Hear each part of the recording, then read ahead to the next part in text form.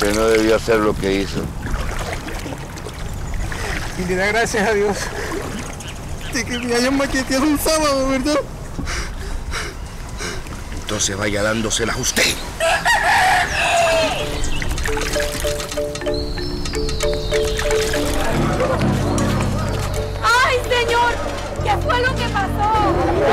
¡Bueno, fuera!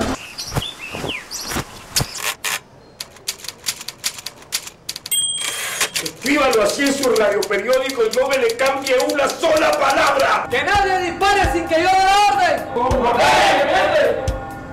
¿Quiere más? ¡Dale tono la voz, campesino! Que le estás hablando al alcalde. ¡Qué bello país!